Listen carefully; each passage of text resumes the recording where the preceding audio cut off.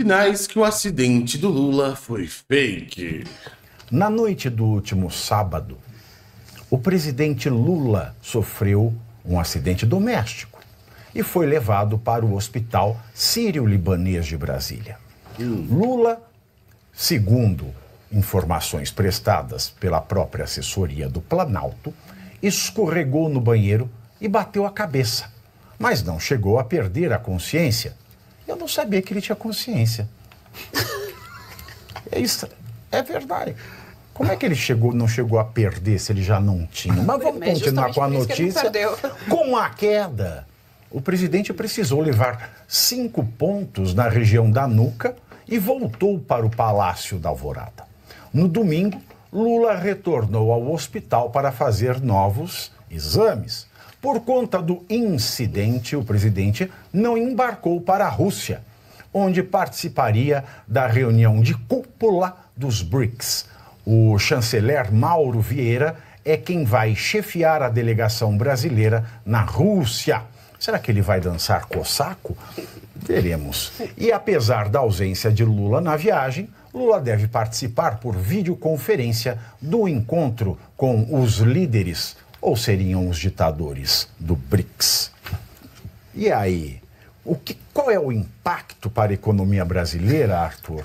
É a ausência do Lula nos, na, na reunião, na, na reunião de cúpula dos BRICS. Olha, eu acho que, na verdade, o tombo do presidente Lula, do ponto de vista político, para ele foi bem-vindo. Né? É claro que ninguém torce por isso, mas ele ia ficar uma saia justa nessa reunião lá dos BRICS, porque agora o BRICS está virando um balaio de gato, querendo juntar um monte de Se ele países. pulou a cúpula e ficasse numa saia justa, seria a tertuliana lustosa, entendeu? É verdade. Agora, é, seria importante a gente destacar que, eu não, sei, sei se todo é. mundo tem esse conhecimento, que no Brasil, esse tipo de acidente doméstico é a causa da maioria das mortes entre crianças de 0 a 14 anos. É algo bem grave, assim, pariu, e, e- e, claro, também em relação a idosos. Então, o presidente Lula tome cuidado, não sei se no banheiro dele não tem aquele suporte que você segura, porque chão escorregadio, cai mesmo, Pagnato. Agora, eu fico me perguntando, professor Suano, e a bacia? O maior risco não é a bacia? Normalmente dizem que sim. Porque você sabe que a- a- o que mais vitima os idosos em São Paulo, o que mais vitima os idosos em São Paulo são quedas nas calçadas esburacadas. Né? E acho que isso se repete por todo o Brasil. do fêmur, quando você fratura, quando os idosos fraturam o fêmur, fratura a- aquela parte superior que engata no quadril, né? no ilíaco, melhor dizendo, que engata no ilíaco, ou fratura ilíaco, ali pode ter certeza, ele um ano de acabou vida de só. fazer uma, uma cirurgia de quadril? É, Ele não tinha acabado de fazer uma cirurgia no quadril? Tinha, mas não adianta, não quer. Verdade. Não, mas de fêmur já ninguém era, quer, quebrou, ninguém é. quer ele, nem lá em cima, nem lá embaixo. Ele está transitando por aí no limbo. Ele Mas vai o- ficar é. no O- limbo. o E transformar o interessante- Brasil no limbo durante muito tempo. O ficar ali. interessante, Marcelo, é que ele chamou um cardiologista, né, Roberto Calil. É verdade, ele chamou um cardiologista, que é o, que é o Calil, para pra dizer atender. a- por que, que ele caiu e bateu a nuca. Porque é isso, na realidade, tudo aquilo que foi falado em termos técnicos é, é, da medicina, ele bate- caiu, bateu a nuca e teve um pequeno corte. É o que está sendo dito. Para mim, A nuca, que estranho. é, bateu aqui. Porque caiu de costas, né? E bate. Segundo ele É, ninguém alega. sabe muito bem, né, o que aconteceu, porque eu já vi algumas, alguns boatos, Ah, eu boatos já ouvi mesmo. tanto boato, meu amor. Cada boato que eu já ouvi é que essa é, a questão, Pave, aquilo é- que o é Arthur falou, indebatível. aquilo que o Arthur falou procede. Veio como é. Olha, é uma coisa que cai tão bem para ele nesse momento que algumas pessoas poderiam até suspeitar dessa queda e chegar a achar que nossa, muito é muito difícil você fazer um corte aqui na cabeça e depois ir lá e costurar. Não estou dizendo que ele fez isso, porque tudo cabe. Por qual razão? Ele está indo para a Rússia, vai ser obrigado a assinar o documento que o Foro de São Paulo, PT e o BRICS quer fazer, quem apoia o governo da Venezuela, eleito pelo colégio eleitoral, não, eleito Será que eles vão pelo enfiar o Talibã no BRICS dessa vez? Eles querem, porque a China precisa. É. Sabe qual foi o primeiro governo a conversar com o governo talibã depois que aquelas pessoas caíram do helicóptero fugindo do governo talibã? Alguém pior que o Talibã. Foram os chineses. Chegaram lá e falaram assim: nós queremos acolher vocês e dar todo o suporte. A gente só precisa dessa faixa de terra aqui para a gente construir umas estradas e umas ferrovias para articular o projeto de Iniciativa Cinturão e Rota, que é controlar a malha logística. Aí o Talibã disse: beleza, nos ajuda, a gente te ajuda. A Tá nova feito. rota da seda? É, no- é, começou com uma nova rota da seda o nome, depois um, é, como é que é, um cinturão e uma rota. Aí o um criava a sensação de que eles são petulantes. Aí eles criaram o nome Iniciativa Cinturão e Rota, que é controlar toda a malha logística mundial, por terra, mar e ar. E aí, Gisiane? E não estão errados de querer, né? Há muito boatos, né, sobre a, a queda do Lula. Eu vi algumas coisas sobre se, se tinha acontecido ou não sangramento no cérebro e tal, se tinha sido, portanto, uma queda mais, mais séria ou não, enfim. Ninguém sabe ao certo. A grande questão é que há o debate no BRICS, como o professor muito bem colocou, sobre a entrada de países muito bons. Vejam só vocês: Venezuela. Nicarágua e Cuba, que são as famosas democracias relativas que o Lula sempre se refere. Ele havia sinalizado um pouco antes que ele eh, se posicionaria contra a entrada da Venezuela e aí entraria de novo naquele debate que o Lula sempre está na corda bamba. Ele faz parte do Foro de São Paulo, Foro de São Paulo é aquela organização daqui da América Latina, comunista, que tem como parceiros países Venezuela e Cuba, portanto são amigos do Lula, que nós éramos proibidos, inclusive, de falar sobre isso nas eleições de 2022. Vai lembrar, nós não podíamos falar que o Lula tem abertamente uma amizade de longos anos com ditadores e que ele, portanto, gosta né, dessas ideias ditatoriais. E aí, ali no BRICS, ele ia ter que se posicionar, se de fato ele seria contra ou não, e aí ele contrariaria os amigos Mas se ele vai dele na, videoconferen- na videoconferência, Pois é, né? vai... Vamos ver o que, que ele vai falar na videoconferência, porque esse debate ainda tá aí. Se ele vai contrariar os amigos do Foro de São Paulo mesmo ali, abertamente, internacionalmente, ou se ele vai, né, fazer um somebody love, como ele já vem fazendo desde o começo aí desse processo da eleição da Venezuela, que ele nunca falou abertamente. O PT, o partido dele, assinou documento apoiando, é, não só agora do Foro de São Paulo, mas antes o PT já tinha feito um manifesto com alguns out- outros países, dizendo que reconheceriam os documentos oficiais do Maduro, que é um ditador. Então é óbvio que esses documentos não têm uma legitimidade no caso. Agora eu tenho- mais uma dúvida ainda. Eu tenho mais uma dúvida. Saiu foto da, da nuca costurada do Lula? Não, eu não vi Saiu alguma nenhuma. coisa? Não?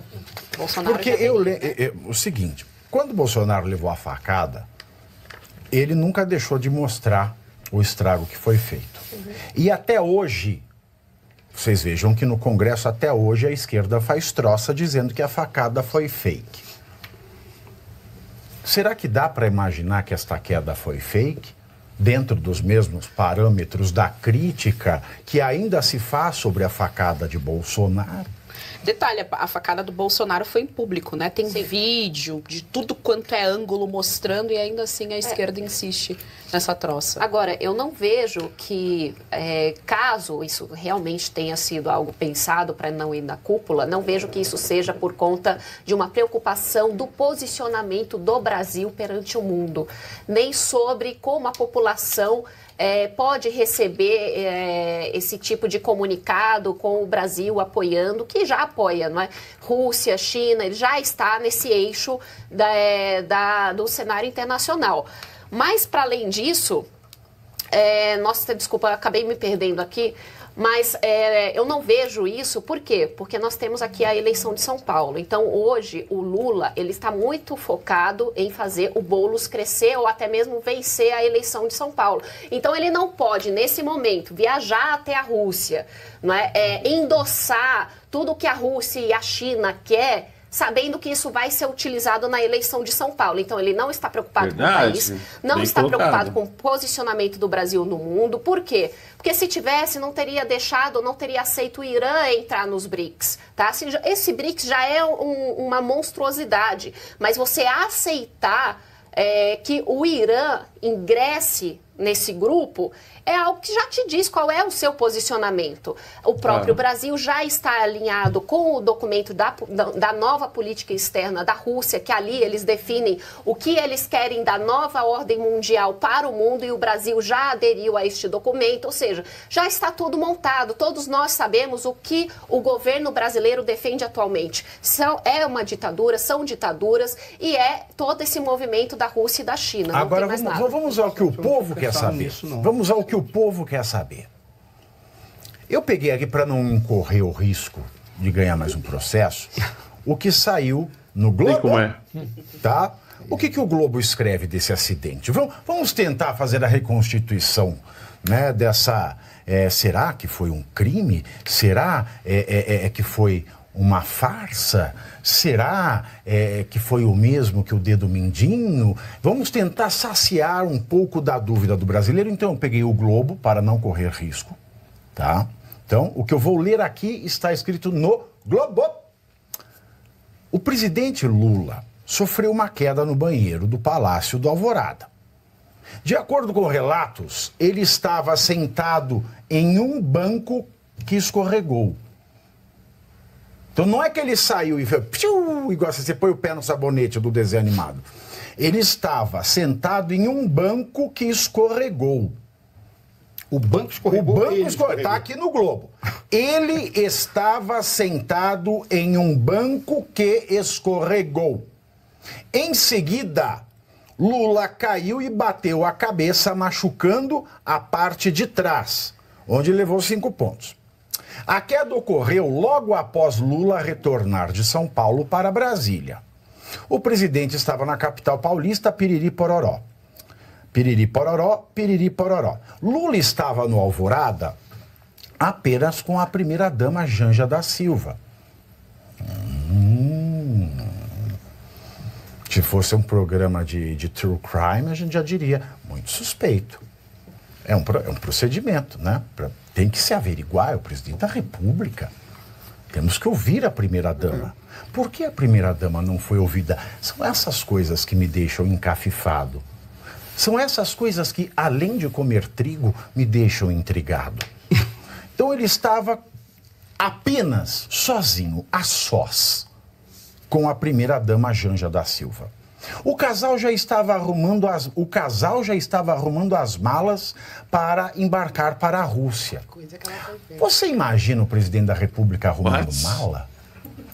Hein? What? A primeira dama. O, o Bolsonaro eu até imagino que ele deve enfiar, socar tudo numa mochila, jeito que é um esmero e vai. Agora, o Lula. hum. Então eles estavam aqui, ó, os relatos do Globo, repito, são do jornal O Globo. Então ele estava sozinho com a Janja e os dois estavam arrumando a mala para embarcar para a Rússia.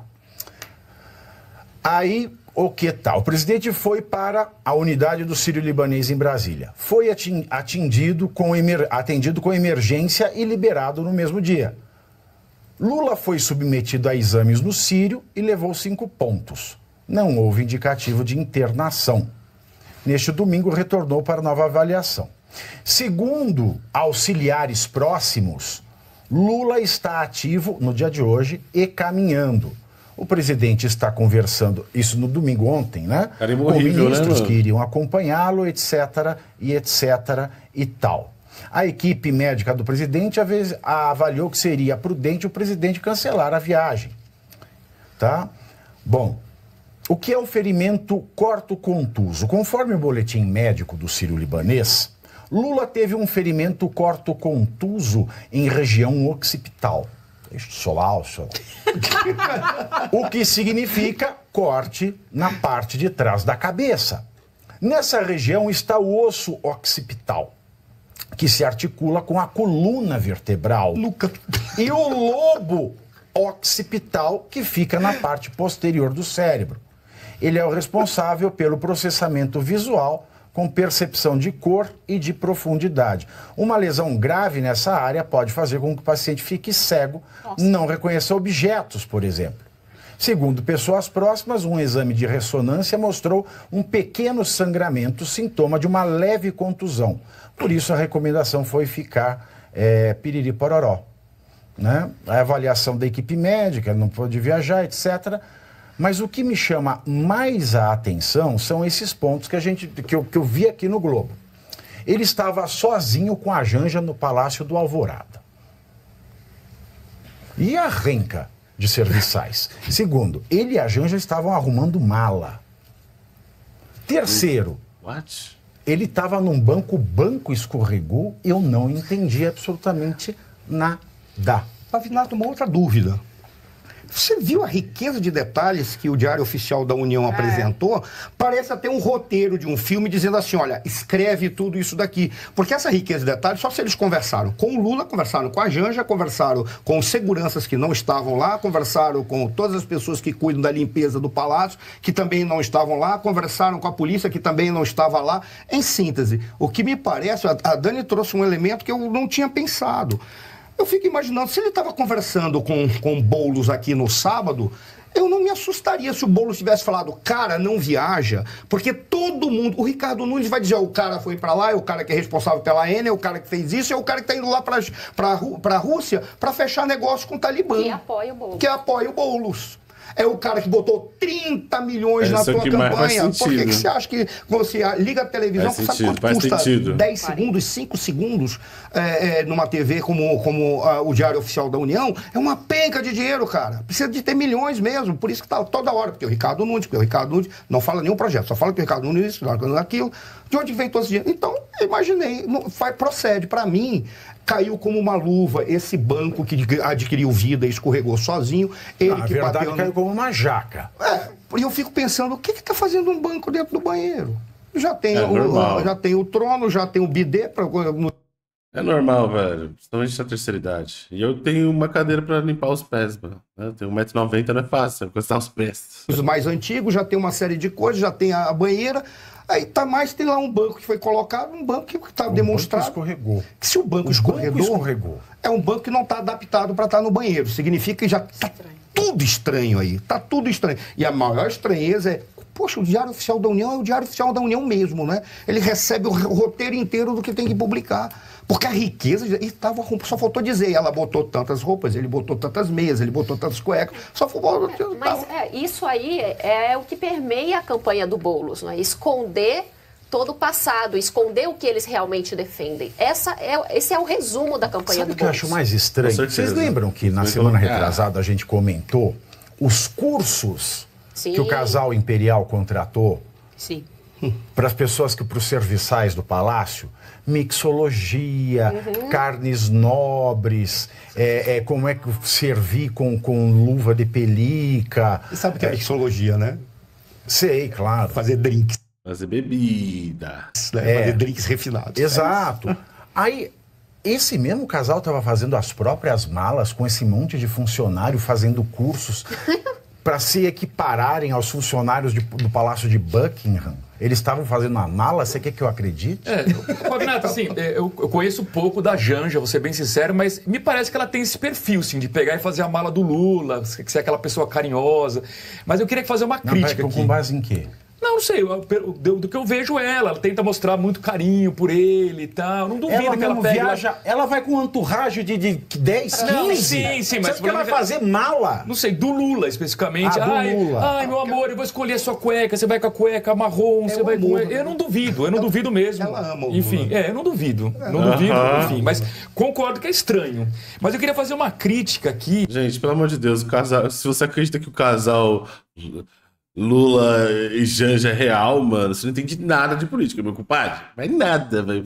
Daí é o casal mais fake que a esquerda já criou pra que o Lula conseguisse vencer voto com as mulheres, mano. Só. que Gato. ao presidente Lula, mas que vale para todos os políticos desse país. Eu tô para esperar um dia, um dia que um político desse país, quando precisar de algum atendimento de saúde, vai procurar um hospital público. Mas nunca Não. na história deste país. Sempre vão pro Einstein ou pro Ciro Libanês. Antigamente vinham para São Paulo, agora não. Como tem um Ciro Libanês em Brasília, ficou mais fácil ainda. Você sabe eu que eu- espero que um dia isso aconteça. Já que também mostraram a carteira de vacinação do Bolsonaro, por que, que não mostram todo o laudo e os exames do Lula? Deveria. Eu sei, né, isso não pode, são dados sensíveis. não podem ser divulgados, faz parte da intimidade do presidente. Mas o próprio presidente Lula quebrou essa regra ao fazer da publicidade, através da CGU, os dados sensíveis que não podem ser publicados do Bolsonaro e da Michelle. Então devia vir agora público também. Mas não, vai- deve pôr 100 anos de sigilo. Exato. É tudo sendo, tudo sendo. Agora imagina a dor de levar uma queda dessa nesta idade. Então, primeiro C, você curte. Tá na descrição, gente. Fortalece no like. Até a próxima. Tchau, tchau.